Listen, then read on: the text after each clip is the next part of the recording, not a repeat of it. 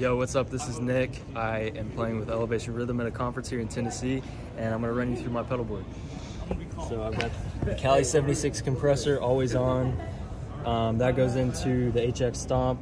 Um, I'm using chorus, reverb, effects loops through that, and then it goes into this, which I'm using as a really dirty channel, um, and then into this, which is really dusty and uh, really good drive to have um, to blend the clean and dirty signal in.